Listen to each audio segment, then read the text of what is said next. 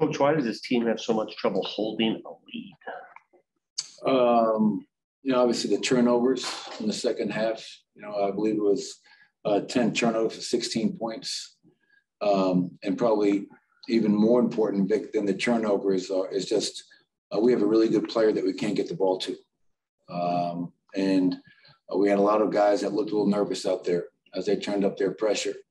Um, so yeah, anytime you lose a, a, a, game where you led by 25 points in the second half uh, is unacceptable. Uh, it starts with me.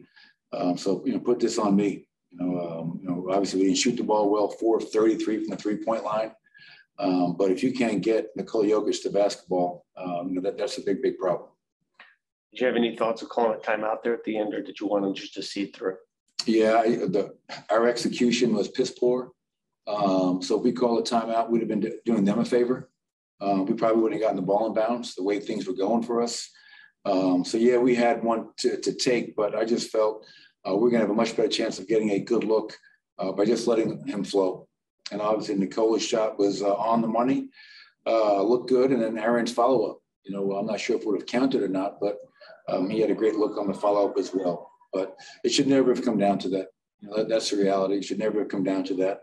Um, first half, I thought our defense was great. Second half, it was awful.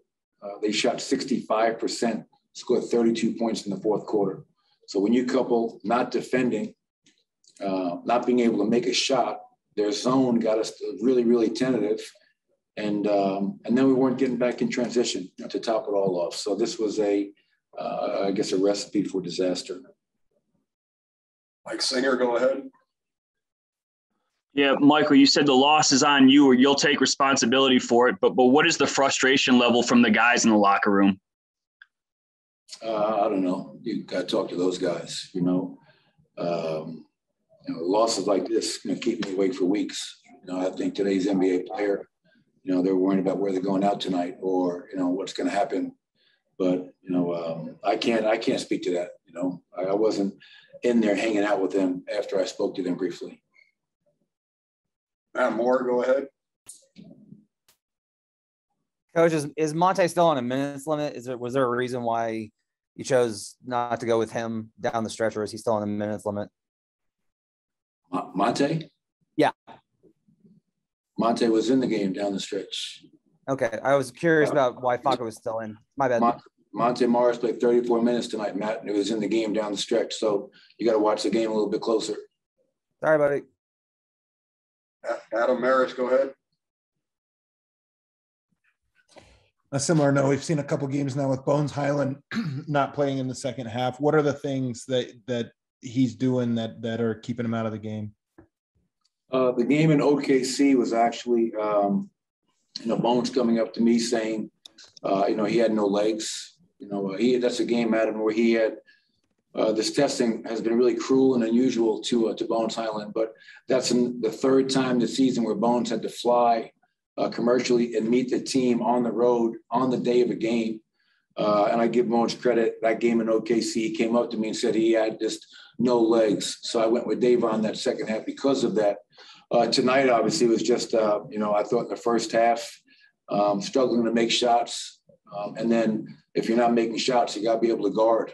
Um, so, you know, we picked up James Ennis, threw him out there, um, some size, some length, and obviously in his um, long career, a guy that can make a shot as well. So it's just uh, to try to give somebody else a look. But for Bones, obviously when the shot's not going and it's not going to go every night, you have to find other ways to help your team, especially on defense, uh, rebounding, play, uh, making plays for your teammates, whatever it may be. Michael, following up on your point about the guys need to get the ball even more to Nikola, what uh, contributed to the lack of that? Well, I mean, you have to give the Clippers credit. I mean, I, I thought, um, you know, after being down 25, they didn't roll over. They fought, they competed. Uh, Ty Lue found a group of guys that was willing to go out there and play the game the right way uh, and gave them life. Uh, and that, that life started on the defensive end. Just like you know in the first half our life started on the defensive end.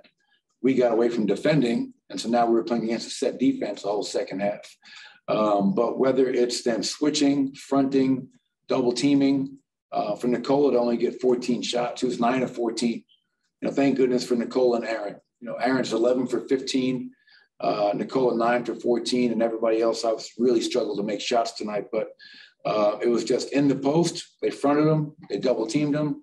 Uh, in pick and rolls, they were switching his pick and rolls, sitting down at the nail, fronting him at the nail, not allowing him to get that easy catch. And, uh, you know, we had a lot of guys running away from the ball in big moments.